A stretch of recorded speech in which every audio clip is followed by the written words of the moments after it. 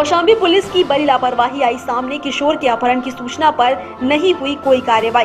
क्या पुलिस कर रही है? बड़ी अनहोनी का इंतज़ार। यूपी के कौशाम्बी ज़िले से अपहरण जैसे जघन्य अपराध जैसे बड़े मामलों में बड़ी लापरवाही सामने आई है।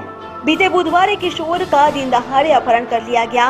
हैरत अंगेज बात तो यह है कि नामजद तहरीर देने के बावजूद पुलिस ने कार्रवाई के नाम पर अभी तक नतीजा ढांक के तीन पात साबित हो रहा है। वहीं परिजनों को अब किसी अनहोनी का डर सताने लगा है।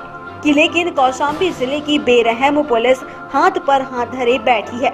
वहीं आज किशोर की माँ ने आज हत्या की आशंका जताते हुए घटना की शिकायत एसपी से की है। दरअसल पूरा मामला मंझनपुर थाना क्षेत्र के अस्करनपुर मंगरोहनी गाँव का है, जहाँ की लक्ष्मी देवी पत्नी नथुलाल गृहिणी है। उसका आरोप है कि बुधवार दोपहर उसका बेटा आनंद गाँव की ही प्राइमरी स्कूल के पास खड़ा था। तभी पड़ोसी दो दबंग युवक आए और जबरन आनंद को अपनी बाइक पर बैठा लिया। इसके बाद उसे गायब कर दिया।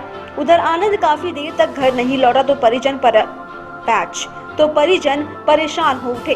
खोजबीन के दौरान उन्हें आनंद के अपहरण होने की जानकारी हुई। पीड़िता की माँ ने तो बेटे की अगवा किए जाने की तहरीर उसने बुधवार पुलिस को दे दी थी, लेकिन पुलिस ने कार्रवाई के नाम पर कुछ भी नहीं किया। उल्टा पूछताछ के बहाने पीड़ित परिवार के सदस्यों को ही घंटों कोतवाली में बैठाए रखा।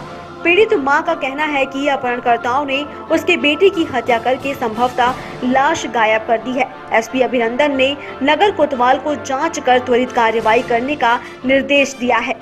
फ़िलहाल पुलिस की मंझनपुर पुलिस की लचर कार्यशैली से ग्रामीणों में तरह तरह की चर्चाएँ आम हैं, जिसका नतीजा यह है कि ज़िले में अपराध दिन प्रतिदिन बढ़ रहे हैं।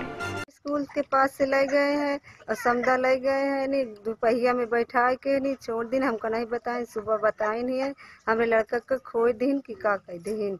और मिल नहीं रहा पुलिस के साथ गए हमारी सुनाई नहीं हो रही है। और हमारा लड़का मिल नहीं चाहता कितने साल के करीब था? तेरह साल के। क्या लगता है कहीं?